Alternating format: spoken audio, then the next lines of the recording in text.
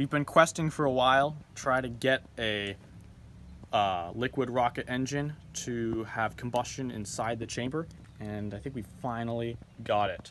Um, first cool thing that we um, did to make it work um, was we built this new test stand. Um, it's cool because the fuel container can now sit right here above where the engine would be mounted, um, just like on the rocket. Uh, we can also point this sideways or down. Um, before we had uh, just been doing sideways tests. Um, but this will be more realistic um, to what it would be on a launch pad. So we can now test it like that. Um, but other than the test stand, um, we have kind of been combining some of our parts. Uh, this is our atomizer. This is um, the 10th version that we've tried and this is the third combustion chamber that we've tried. It's a pretty makeshift way to hook them up and this is actually just hot glue and a set screw here. Um, but the atomizer does a very good job at atomizing um, and this chamber, we think that the reason why this works well is because the nozzle is big enough. Um, but there was combustion inside the chamber. You could tell there's there's no gap between the nozzle and the flame.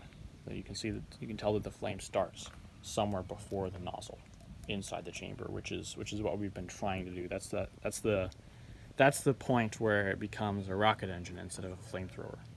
So previous versions of the atomizer have just been like single piece. Um, the difference here is that um, let me pull this part out. Um, this is the fuel inlet um, there's a hole that comes all the way down and a 15 thousandths orifice um, at the tip. So just a little bit of fuel is coming in. Um, and then down here, uh, this is where the air comes in. The air comes in at a little bit of an angle, spirals around, and it would be spiraling around this when it's inside.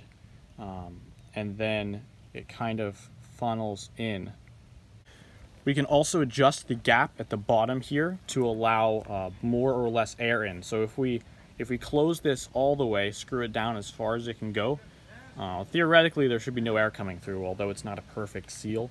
Um, and so this would be very, very fuel rich. But then we can back it out a little bit to allow um, more air and adjust to get what we like.